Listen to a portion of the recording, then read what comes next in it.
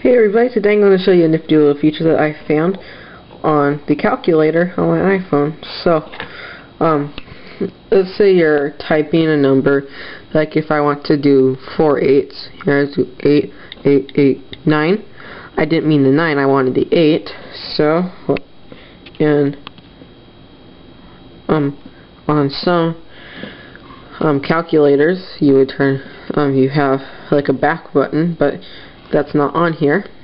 So, the back button I found on here, you just take your finger and you swipe back, just like that. And then you just can, um, um, undo that num the last number that you did. It's that easy. And then you can just keep sliding, just like that. So that's just a cool little feature that I found about how to undo a number.